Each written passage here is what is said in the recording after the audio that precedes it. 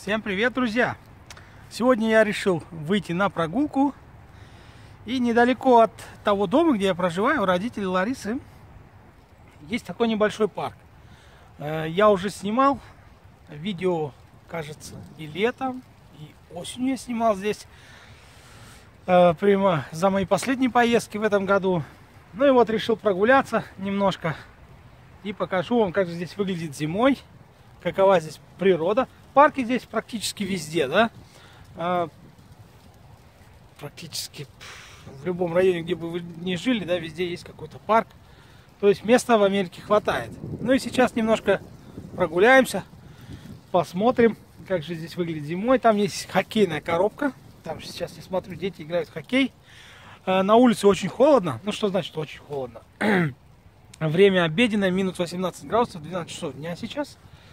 А, сегодня я одел перчатки. Видите, перчатки. Но э, снимаю я без перчаток. Правая рука без перчатки, видите? И вот уже рука за одну минуту замерзла у меня. Здесь где-то я видел двух белок только что. Я как-то говорил, что здесь куча белок в Миннесоте. А, где? Вон они вон там бегают, шишки таскают. Вон, видите? Побежала одна. Что-то потащила. Здесь нужно быть очень осторожным, потому что такой небольшой снежок выпал. Но под снегом, видите, лед. Можно катиться. Посмотрите, видите? Э, когда я снимал видео о гололеде, да, то есть в ту ночь здесь, то есть прошел дождь и после этого все покрылось льдом.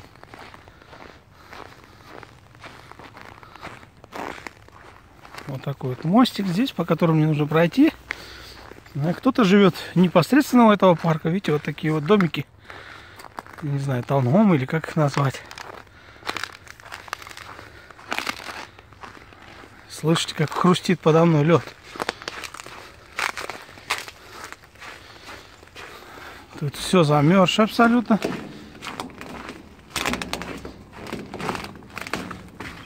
Такая вот речушка. И там какое-то болотце. Но летом все заросшее камешами. И вот туда я сейчас направляюсь. Вот такой вот складывается у нас пейзаж.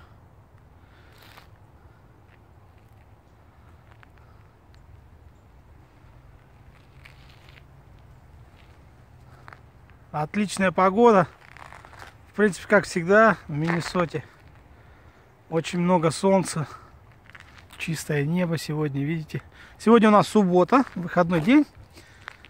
Ну, не знаю, насколько он выходной э, в Соединенных Штатах.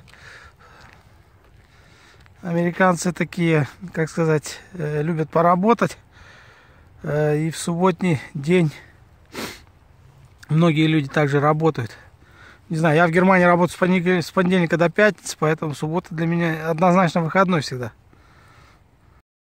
Когда я летел сюда, в Миннесоту, да, я очень надеялся на то, что будет очень много снега.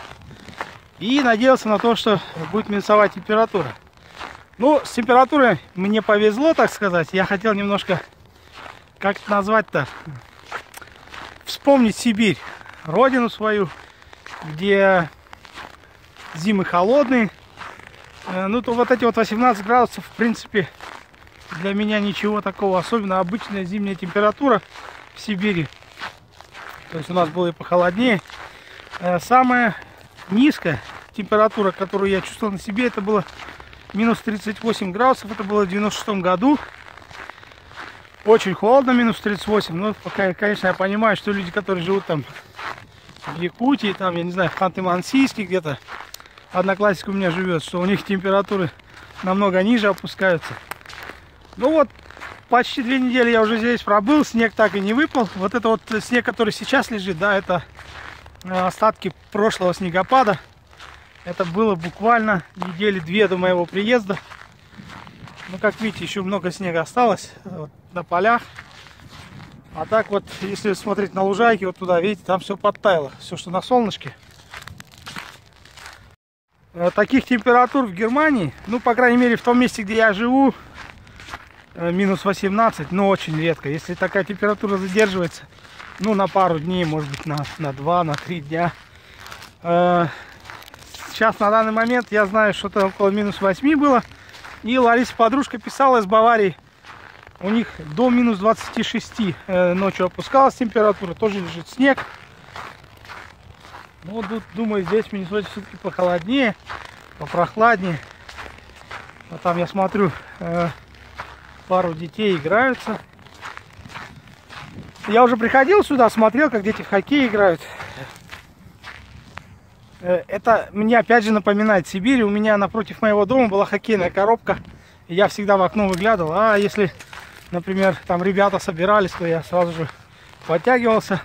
Э, раньше не было никаких телефонов, да, нельзя было там списаться, созвониться. Э, и с, телефонами даже, да, у нас в поселке была тоже проблема, не у каждого был телефон. Как-то там вставали на очередь, годами ждали. Была огромная проблема получить номер телефона. Но такая привилегия у нас была, телефон у нас дома стоял. Вот так вот выглядит хоккейная коробка, которая находится здесь, которую я вам уже показывал летом или осенью, не помню точно. Вот так вот выглядит. Ну, на данный момент дети не играют, только что, э, когда я оттуда приближался, я видел, что здесь кто-то находился. Вот игровая площадка. И стоит здесь вот такой вот домик. Я подошел туда, э, там висит надпись, э, часы открытия. И здесь написано Warming House. То есть это домик, где можно согреться, зайти сюда. часы открытия у него есть. Вот так вот здесь написано Warming House. Э, до 9 вечера он открыто. С понедельника, он открыт с понедельника до пятницы. В субботу с 10, в воскресенье с 10, но только до 6 и так далее. То есть я видел, как только что люди, которые вот там по полю идут, они сюда заходили, грелись. Ну, а я сейчас хочу пару раз разогнаться вот по этим ступенькам и прокатиться на по этому льду. Сейчас попробую это заснять. Э, мне кажется, дети, которые играли здесь на площадке, когда я только шел сюда, мне кажется, они просто в этом домике греются, потому что сейчас еще один мальчик ушел с клюшкой, э, со снаряжением. Просто когда сидят, греются. Так, посмотрим сверху, как здесь. Забрался вот на такую вот э, горку на этой игровой площадке. Посмотреть еще раз на окрестности. Как же здесь выглядит зимой.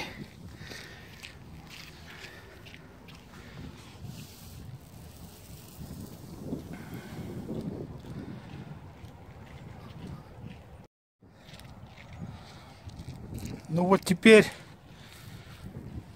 спустя уже минут 25, я уже понимаю, что на улице холодно, что 18 это не так уж тепло.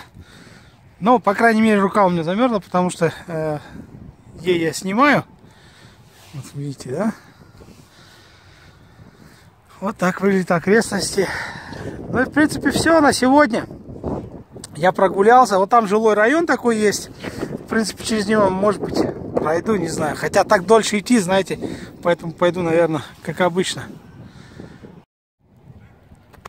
Вот эти вот елочки э, привезли в ноябре месяце. Ну, я думал, их чисто привезли для того, чтобы поставить их перед Рождеством. Но сейчас я смотрю, э, похоже на то, что их здесь просто посадили. Вот видите, как здесь выглядит. Похоже на то, я так думаю, что их посадили. Ну, не знаю, в ноябре садят елки или нет.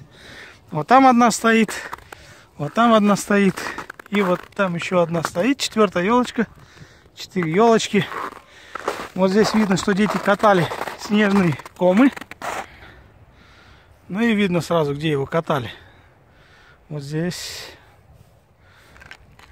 Вот здесь. Вот так его катили, катили. Э, кольцо я показывал, что опускается, да, на вот это, мне кажется, самая минимальная высота, чтобы могли играть самые маленькие дети. Э, то есть здесь даже я могу достать до кольца. Так, вот там мальчик один вышел на хоккейную коробку уже.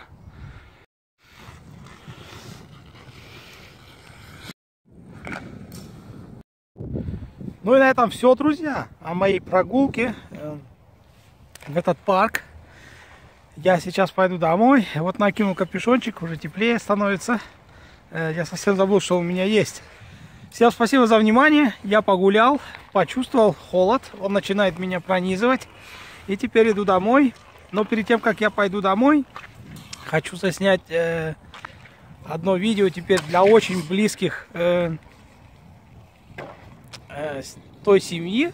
То есть э, близких родственников моей жены, родителей ее, э, которые не живут в Америке. Показать им путь отсюда до дома, чтобы они при, примерно могли посмотреть, где же живут э, Ларисины родители и Лариса. Всем спасибо за внимание. Пока.